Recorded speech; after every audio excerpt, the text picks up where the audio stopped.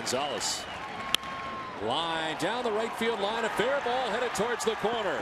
Ellsbury will come around from second base as Adrian Gonzalez gallops into second base with an RBI double that has the Red Sox on top 2 to 1. A two out RBI for Adrian Gonzalez. Looks like Gonzalez got a change up that stayed inside and he cleans it out. You see Santana set up away, but that ball stays inside at about 84 miles an hour, and Gonzalez hooks it right down that right field line. 42nd RBI of the season for Gonzalez.